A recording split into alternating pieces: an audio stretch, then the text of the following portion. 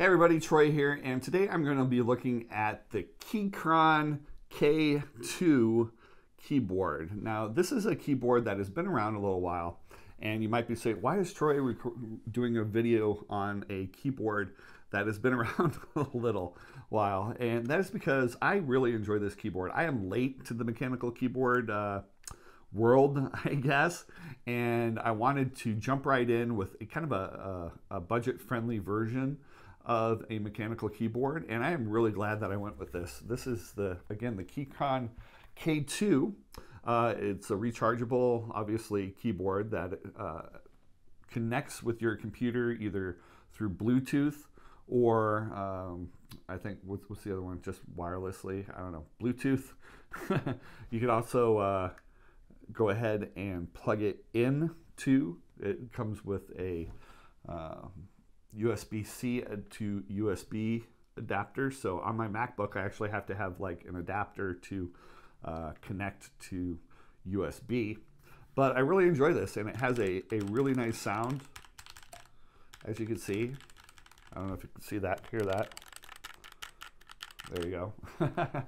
um, one of the things that uh, you have to get used to is the uh, battery life. If you put function and then B.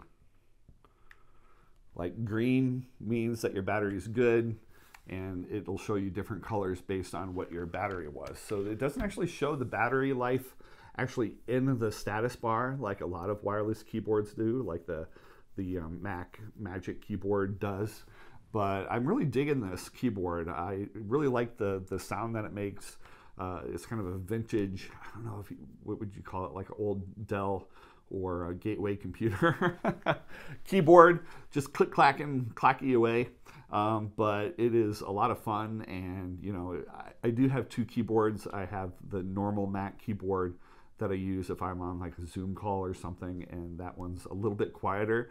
But if I'm just writing something, I, am really liking the Keychron K2. It does take a little bit to get used to because the, the buttons on the right hand side of the keyboard are not like in their standard locations. So for a while there, I was hitting the home key quite often uh, when I was trying to hit the enter key, just getting used to the new keyboard. And that's, that's what you have to do whenever you switch keyboards, whether you go from like a full size keyboard to one slightly smaller to a compact keyboard or just pretty much any keyboard you buy, there is that transition period.